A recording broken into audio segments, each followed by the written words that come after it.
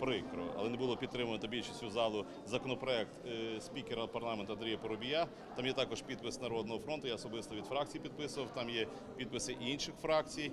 І гадаю, що завтра е, профільний комітет може розглянути цей законопроект, четвер проголосувати до внесення в порядок денний, і це питання буде вирішено. Тому я звертаюся до всіх е, фракцій, до наших колег по коаліції фракції БПП з тим, щоб ми в четвер підтримали ініціативи спікера і Народного фронту і інших фракцій, і це питання було врегульовано.